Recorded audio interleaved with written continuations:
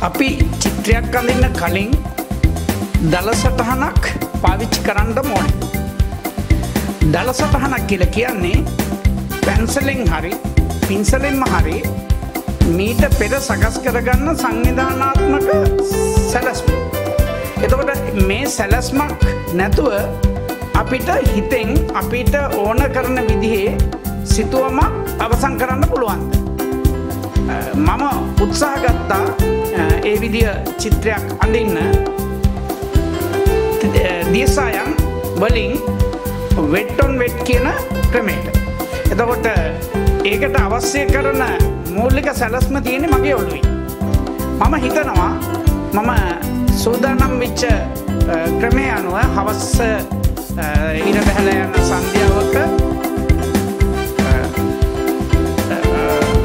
සාමාන්‍ය ගමක සිදුවෙන සිදුවීමකින් කොටසක් හවසට ඉර බැහරෙනකොට වෙල්්‍යායක් මැතින් හර එල දෙනක් සහ වහු බැටියෙක් ඇරගෙන ගෙදර යන්නට හදන ගොවියෙක් චිත්‍රයට නගන්න. මං මේ කටයුත්තු කරන්න දියසායන් භාවිතා කරා. ඒක ලේසි ක්‍රමයක් කියලා මම හිතුවට මං හිතන විදිහට තෙල්සායන් සහ ඇක්‍රලික් වගේ සායන් වලින් මේක පහසුවෙන් කරන්න පුළුවන්. හැබැයි දියසායන් වලින් පුංචි ප්‍රශ්න කීපයක් මතු වෙනවා එකක් තමයි දියසායන් වලින් අපි සුදු පාවිච්චි කරන්නේ නැහැ.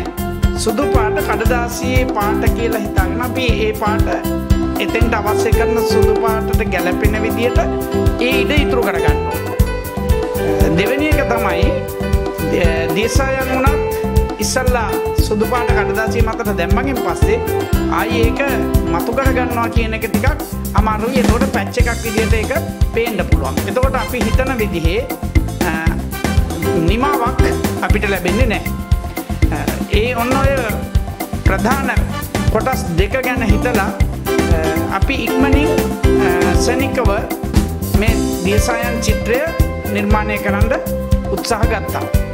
ඔයගොල්ලන්ට බලන්න පුළුවන් සමහර වෙලාවට මේක එක්තර ප්‍රමාණයකට සාර්ථක වුණා නමුත් මං හිතනවා මින් ඉදිරියට තව ටිකක් සතස අභ්‍යාසවල යෙදීමෙන් මට වුණත් මේක සාර්ථක කරගන්න පුළුවන්. දියසායන් හෝ තෙල්සායන් පැන්සලක් භාවිතය නොකර මූලික සැලස්මකින් තොරව මං අඳපු චිත්‍රය මං ඔයගොල්ලන්ට අද ඉදිරිපත් කරනවා.